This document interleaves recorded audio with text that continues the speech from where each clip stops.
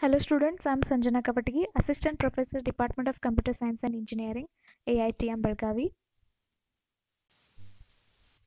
Let us continue with the video lectures on storage area networks. In this video, we will be studying about storage provisioning.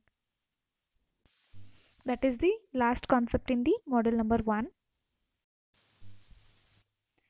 Storage provisioning is the process of assigning storage resources to hosts based on capacity, availability, and performance requirements of applications running on the hosts. Storage provisioning can be performed in two ways. That is, first one is traditional, and the second one is virtual. So, this virtual provisioning leverages the virtualization technology for provide provisioning storage for applications. Uh, so, in this video, we shall study both traditional as well as virtual storage provisioning. Let us understand tra traditional storage provisioning. In traditional storage provisioning, physical disks are logically grouped together and a required RAID level is applied to form a set called a RAID set. The number of drives in RAID set and the RAID level determine the availability, capacity and performance of the RAID set. So it is highly recommended that the RAID set should be created from the drives of the same type, same speed and same capacity to ensure the maximum usable capacity, reliability and the consistency in performance. For example, consider if drives of different capacities are mixed in a RAID set, then the capacity of the smallest drive is used from each disk in the set to make up the RAIDs, uh, RAID set's overall capacity. So that is the issue if we have combined uh, disks of different sizes in a RAID set then the capacity of the smallest drive will be used from each disk in the uh, entire set to entire set to make up the uh, RAID set's overall capacity. The remaining capacity of the larger drives remains unused. That's why it is recommended that we should use the drives of same capacity, same performance and same speed. Okay. So likewise mixing of higher revolutions per minute that is RPM drives with lower RPM drives lowers the overall performance of the RAID set. Okay. So then uh, RAID sets usually have a large capacity because they combine the total capacity of the individual drives in the set. That is why the size of the RAID sets will be normally large. Logical units will be created from the RAID sets by partitioning. Uh, like we have seen the slices of the RAID set in the previous videos. Uh, the available capacity uh, into smaller units. Okay we are going to partition the RAID set making the available capacity into smaller units. And these units are then assigned to the host based on their storage requirements. Based on the requirements of the storage these smaller units will be assigned assigned to the hosts uh, then uh, logical units will be spread across the physical disk that belong to that particular set. Each logical unit created from the RAID set is assigned a unique ID which is called as LUN that is logical unit number LUN LUN. Okay. So uh, LUNs these LUNs hide the organization and composition of the RAID set from the hosts okay so LUNs created by traditional storage provisioning methods are also referred to as thick LUNs to distinguish them from the LUNs created by virtual provisioning methods.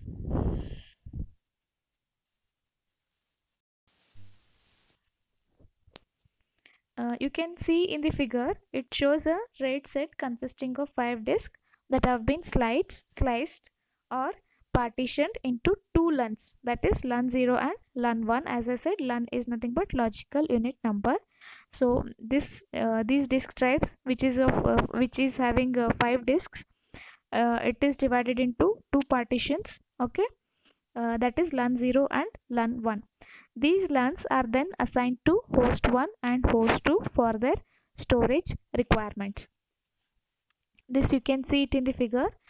The storage uh, capacity is divided into two things but one is LUN 0 LUN 1 these two are logical units which are then assigned to two hosts.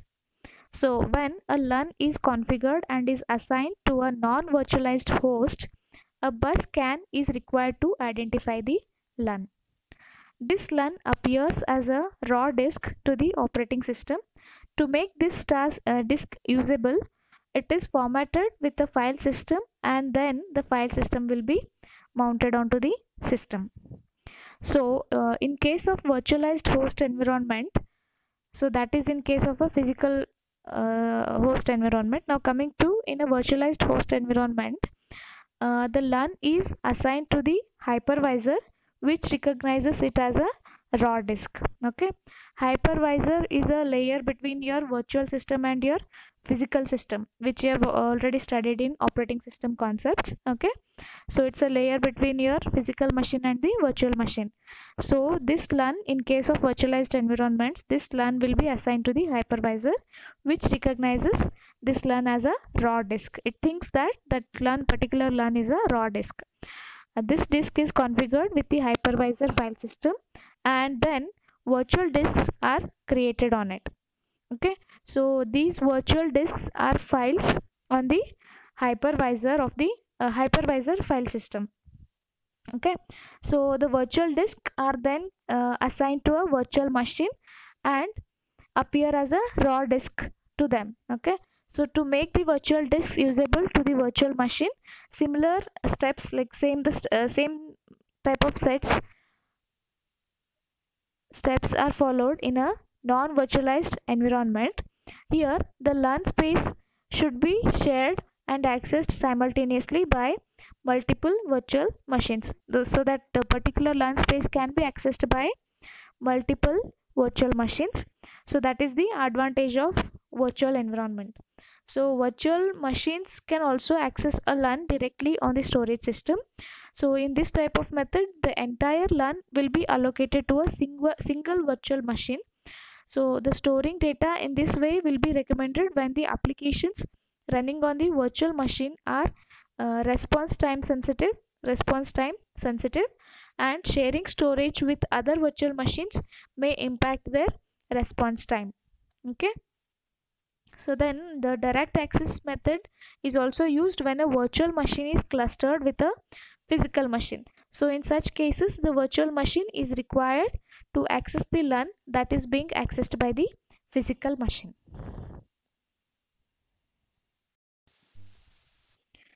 The next concept is LUN expansion that is meta-LUN.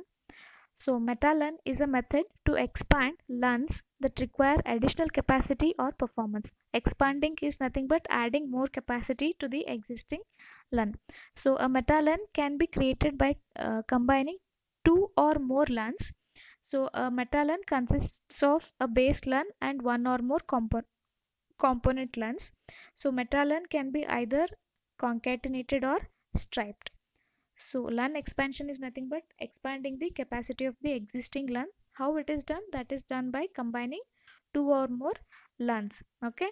So that is called as meta LUN. It has one base LUN and the other one will be called as component LUN. Okay, it can be either uh, of uh, it can be either of concatenated or it will be of striped one. Okay, so concatenated expansion simply adds the additional capacity to the base LUN. Okay, so in such type of expansion, the component LUNs are not required to be of the same capacity because we are just go going on adding different sizes to it. Okay. So it need not have the same capacity as of the base LUN that is component LUN. Okay. Component LUNs need not have the same capacity as of the base LUN.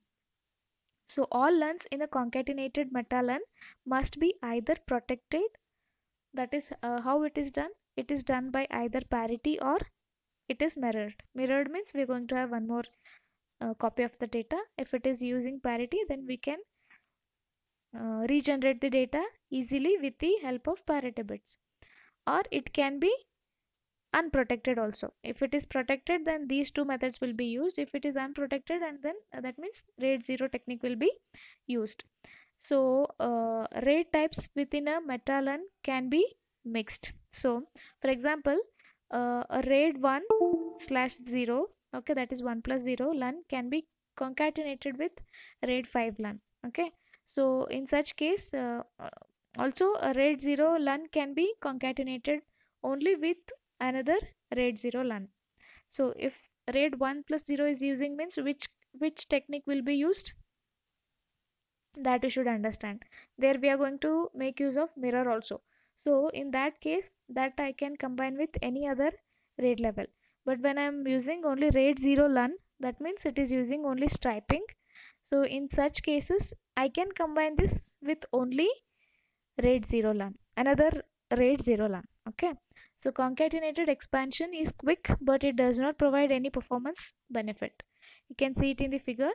Concatenated meta LUN so we have one base base LUN plus we have one component LUN together it is a meta LUN okay? Base LUN and the component LUN this component LUN is nothing but the increased capacity okay?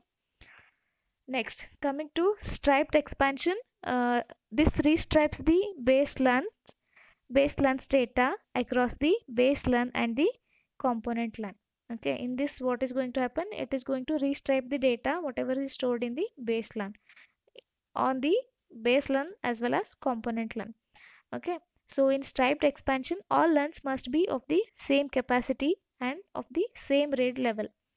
Striped expansion provides improved performance due to the increased number of drives being striped because the data gets distributed on all of the drives existing okay? It is also base LUN as well as the component LUN that are going to be striped. So that is the reason it is giving some increase in the capa uh, capacity uh, sorry performance. Capacity is anyway increased so it is giving benefits of performance also.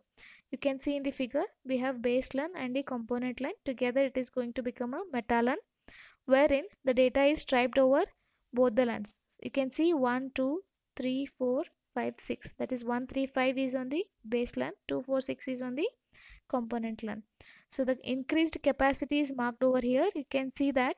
So it is like a uh, space that we are collecting from each of the LUNs which will be which can be an increased capacity to the existing LUN so this is about striped meta LUN so all the LUNs in both concatenated as well as striped expansion should reside on the same disk drive type okay?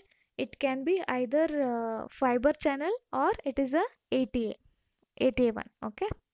So this is about physical storage provisioning or traditional storage provisioning. Next we shall see virtual storage provisioning.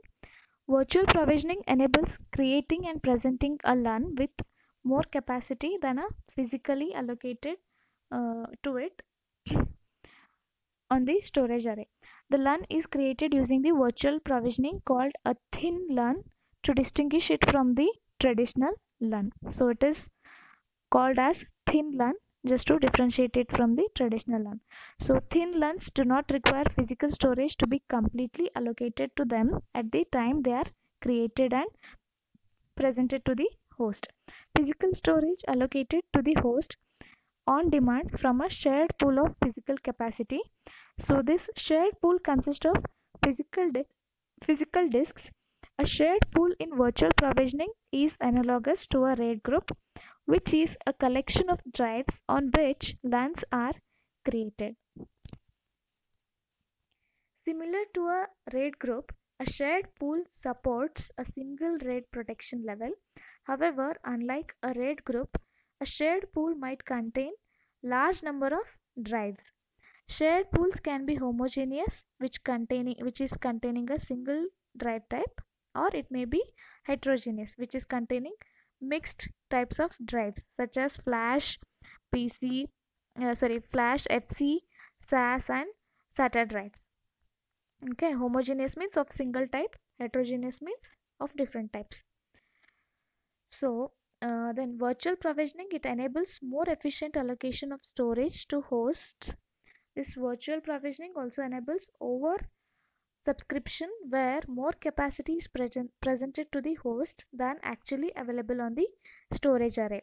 So both shared pool and thin LUN can be expanded non-disruptively as the storage requirements of the hosts grow. Okay So multiple shared pools can be created within a storage array and a shared pool can be shared by multiple thin LUNs okay uh, as it is given in the figures which is explaining the provisioning of the thin LUNs. You can see there is a shared storage pool which is called as thin pool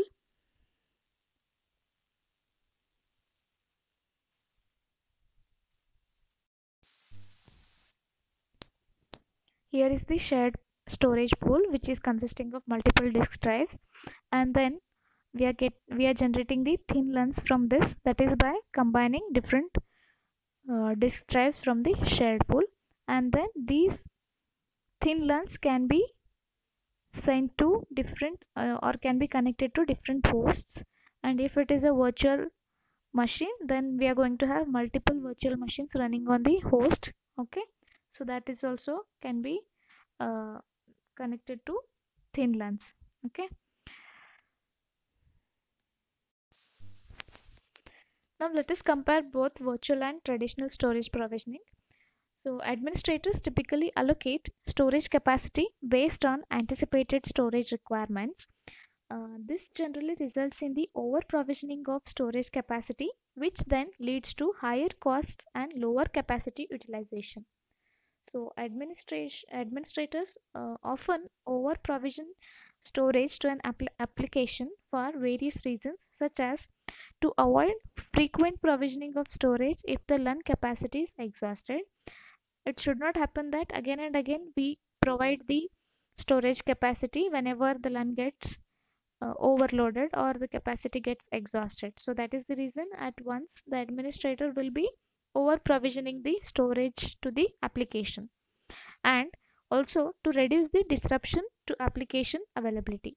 So whenever we are increasing the capacity of the storage of course the application has to be shut down or it has to be stopped from working. So in order to avoid this disruption of uh, application availability we can over provision the storage to the applications. So this over provisioning of storage uh, storage often leads to additional storage acquisition and operational costs okay? Then uh, virtual provisioning addresses these challenges okay? This was happening in traditional method. So when we are making use of virtual provisioning these challenges can be addressed. Virtual provisioning improves storage capacity utilization and simplifies storage management you can see in the figure 4.9 which shows a comparison of both uh, methods. Uh, it is showing virtual provisioning along with the traditional storage provisioning. So when traditional provisioning is used three LUNs are created and presented on one or more hosts. You can see on the left side three LUNs are created and it is provided to one or Mm, more hosts okay?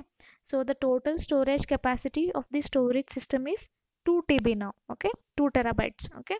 So the allocated capacity of LUN 1 is 500 GB of which only 100 GB is consumed and the remaining 400 GB is unused okay? The size of LUN 1 is 500 GB total capacity is 2, 2 TB among that LUN 1 is having 500 GB of capacity in that only 100 GB is used and 400 GB is kept unused.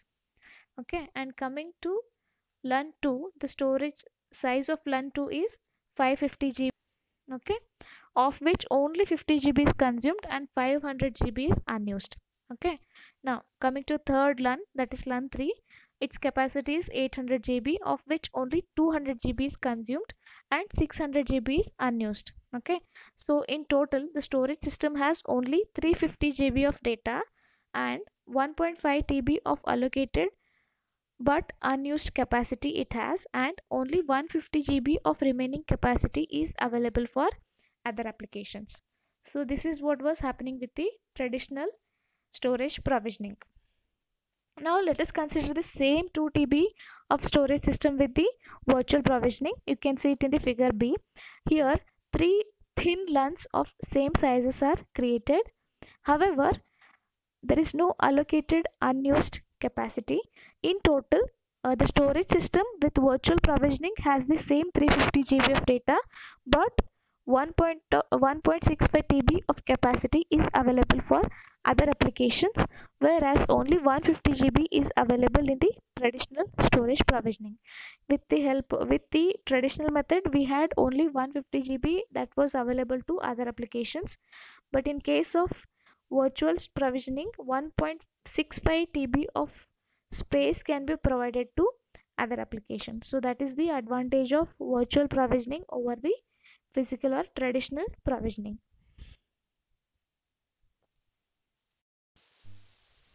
let us consider some use cases for thin and traditional LUNs virtual provisioning and thin LUN offer many benefits although in some cases traditional LUN is better suited for an application thin LUNs are appropriate for applications that can tolerate performance variations.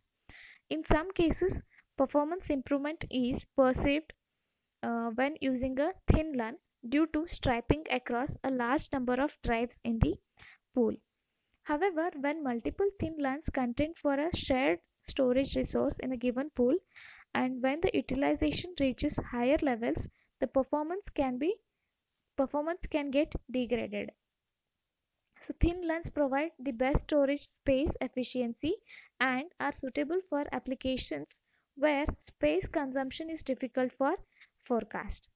So using thin LUN benefits, organizations is reducing power and acquisition costs in simplifying and uh, also in simplifying their storage management. Traditional LUNs are suited for applications that require predictable performance Traditional LUNs provide full control for precise data placement and allow an administrator to create LUNs on different RAID groups if there is any workload contention. Organizations that are not highly concerned about storage space, space efficiency may still use the traditional LUNs. So both traditional and thin LUNs can coexist in the same storage array Based on the requirement, the administrator may migrate data between thin as well as the traditional LUNs. So he can choose between um, thin LUNs and the traditional LUNs depending on the requirement of the application. Both can be implemented or both can coexist in the same storage array.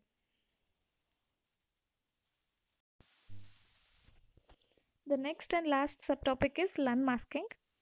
So LUN masking is basically a process that provides data access control by defining which LUNs a host can access. Uh, the LUN masking function is implemented on the storage array. This ensures that volume access by the host is controlled appropriately, preventing unauthorized or accidental use in a shared environment. So for example, consider a storage array with two LUNs that store the data of the sales and finance departments. Without LUN masking, that means without using this LUN masking technique, both departments can easily see and modify each other's data, posing a high risk to the data integrity as well as security. If I'm using LUN mask, that is with the use of LUN masking, LUNs are accessible only to the designated host. We can control the access to these LUNs with the help of LUN masking. Basically, it is a process which provides data access control uh, by defining the uh, which LUNs only that particular host can access. Okay, a particular host can access only those particular LUNs. This is done with the help of LUN masking process. So this completes module number one. Thank you for watching.